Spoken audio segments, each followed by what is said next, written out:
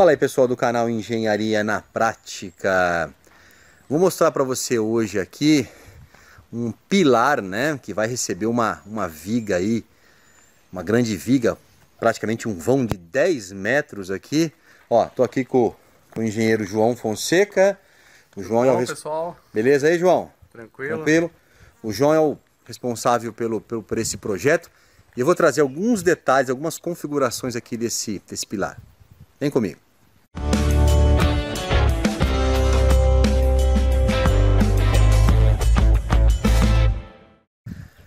Pessoal, vamos lá. É, nós vamos ter, para você entender, nós vamos ter uma, ó, o pilar ele vai lá naquele canto. Eu vou até aproximar para você ali, ó.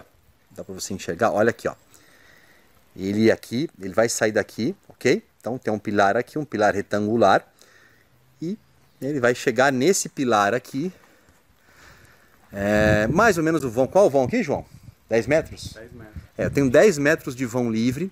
E esse pilar aqui, pessoal, ele é, é 30 por 30, 32 por, mais ou menos 32 por 32. E o estribo aqui, pessoal, tá mais ou menos em torno de 25, 24 por 24, mais ou menos. Temos um cobrimento em torno aí de praticamente 2, 2 centímetros e meio, ok? Veja só, pessoal, nós temos aqui 20 barras de 16, ok? 20 barras de 16, 4, 4, 4, 4, perdão, 5, 5, 5, 5. E nós temos aqui o estribo de 5 milímetros a cada pelo menos 10 centímetros, tá? Então é um senhor pilar aí, ó. Carga aqui que uns 40 toneladas, João? É, mais ou menos. Mais ou menos, pessoal, tá? Mais ou menos para receber umas 40 toneladas aí um pilar desse aí, um pouquinho para mais aí, tá? Então, esse é considerado um super pilar aí para receber. Com certeza aqui foi trabalhado engastada? Então, pessoal, para você entender, tá? A viga aqui, depois eu vou trazer para você essa viga aqui, pessoal, ela vai trabalhar é, no sistema de engastamento, ok? Então nós vamos transferir parte dos esforços da viga, vai transferir para o pilar, ok? Por isso que nós estamos reforçando aqui o pilar. Essa viga de 10 metros aqui, ela não vai trabalhar na articulada só momento positivo, né? Tração. Não, ela vai transferir parte do momento positivo, jogar para os momentos negativos desse pilar aqui e para o outro pilar. Por isso que nós vamos reforçar, né? Porque quando você trabalha com engaste, parte dos esforços da viga são é, absorvidos pelo pilar. Por isso que eu preciso ter um pilar aí considerado. Tá certo, João? Certíssimo. Aprendi ou não? Tá certíssimo. Tô aprendendo com você, né? é isso aí, pessoal. Mas aí o engenheiro João Fonseca, que é parceiro aqui do canal, a gente tem feito vários projetos juntos, o João faz alguns projetos, eu estou executando. É isso aí, né, João? Então é isso aí, pessoal. Ó, um pilarzão bonito aqui. Eu vou até descer ali mostrar para você ali o arranque do...